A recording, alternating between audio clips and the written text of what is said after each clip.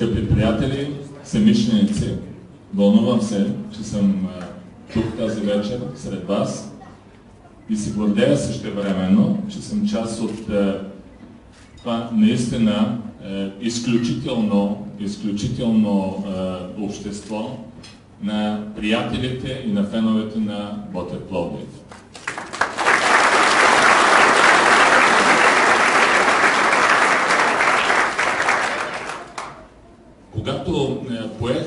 Тежкия кръст да стана съпричастен към бъдещето и успехите на този отбор,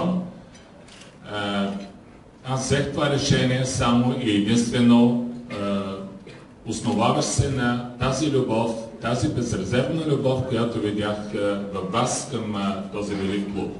Това беше решението.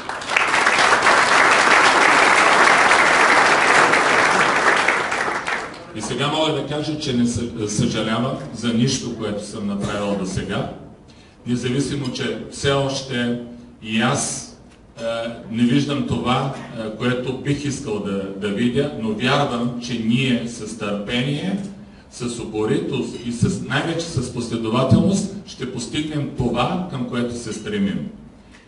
Ние не искаме отбор, който да е еднодневка, ние искаме отбор, който да наследи великите традиции в този град, в този клуб и а, от тук нататък наистина да се говори за явлението Ботев-Пловдив.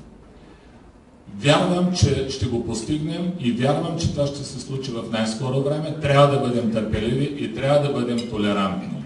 Ние сме събрали тук различни хора, но всички обединени от едно – любовта към Ботев. Нека се помагаме взаимно, там, където грешим, аз също смятам, че не съм а, безгрешен, там, където ще грешим, ще се поправяме грешките в името на тази велика цел. Обещавам ви, че Ботев в най-кратко време ще стане наистина най-добрият отбор в България и не само в България.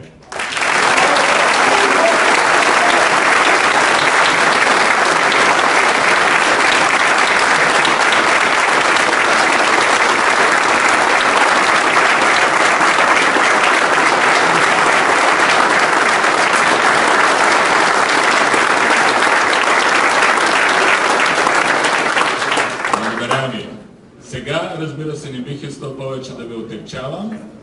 Желая ви прекрасно, прекрасно изкарване на тази вечер. Разбира се, весели празници, здраве, щастие и любов на вас, на вашите семейства и на вашите близки. На здраве!